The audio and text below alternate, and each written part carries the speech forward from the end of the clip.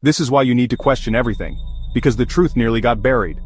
One forgotten book, one stubborn scientist, and everything changed. Ready to have your mind blown? Back in the 1500s, people thought the Earth was the center of the universe. But Nicholas Copernicus, a quiet mathematician, flipped that idea upside down. His book, On the Revolutions of the Heavenly Spheres, almost got lost forever because he was too scared to publish it. Fast forward, Galileo built a telescope and spotted moons orbiting Jupiter, not Earth. He got in huge trouble with the church for saying the obvious. Next, Isaac Newton started asking weird questions about falling apples, and discovered gravity, turning the world of science upside down again. Here's the kicker. If Copernicus hadn't taken the risk, today's tech, like GPS, satellites, even space travel, wouldn't exist.